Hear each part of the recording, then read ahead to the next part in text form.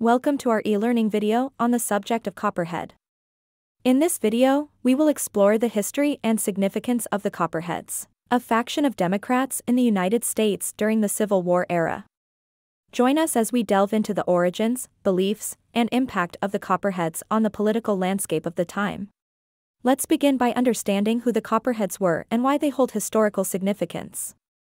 The term Copperhead was used to describe a faction of Democrats who opposed the Civil War and advocated for a negotiated settlement with the Confederacy. They were predominantly based in the Midwest, particularly in Ohio, Illinois, and Indiana. The name of Copperhead was derived from the venomous snake, symbolizing their perceived treacherous and dangerous nature by their opponents. The Copperheads believed that the Civil War was unconstitutional and that the federal government was infringing upon states' rights. They argued for a peaceful resolution to the conflict, often proposing compromise measures to end the war and preserve the Union. Copperheads criticized President Abraham Lincoln's policies, particularly his suspension of habeas corpus, the draft, and his administration's handling of the war effort. The Copperheads' opposition to the war was driven by various factors. Some believed that the war was causing unnecessary bloodshed and destruction, while others had economic motivations fearing that the war was harming their financial interests.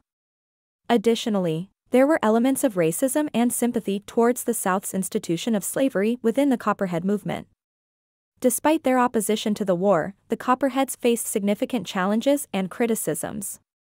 They were accused of being traitors, sympathizers with the Confederacy, and obstructing the Union's war efforts. Many Copperhead leaders were arrested and imprisoned under charges of sedition. The influence of the Copperheads varied across different regions. In some areas, they had considerable support, particularly in regions with strong anti-war sentiments. However, they were a minority faction within the Democratic Party, and their influence waned as the war progressed and the Union's fortunes improved.